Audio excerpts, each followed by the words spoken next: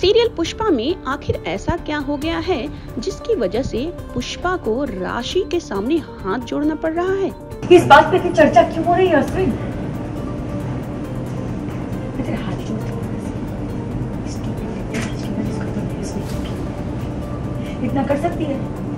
जी हाँ पुष्पा राशि के सामने हाथ जोड़ती है और बोलती है कि मुझे इस बारे में कुछ नहीं सुनना।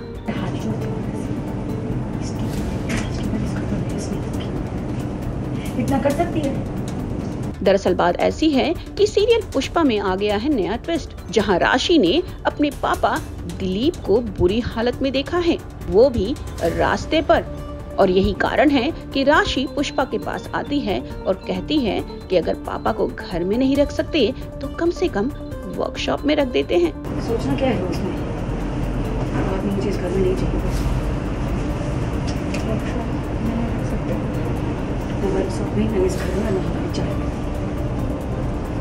आस पास उसे नहीं कर सकती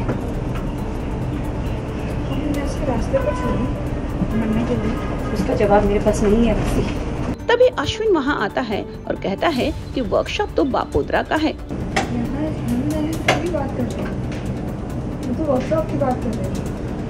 जैसे जुगल हम कर रहे थे वैसे हमारा घर नहीं है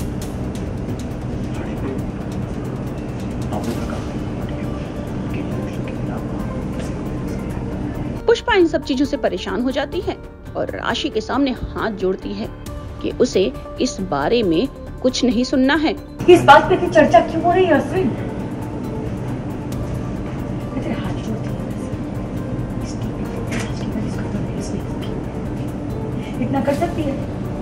और वहाँ से निकलकर चली जाती है और प्रार्थना को दही खिलाती है क्योंकि प्रार्थना को किसी काम के लिए बाहर जाना है।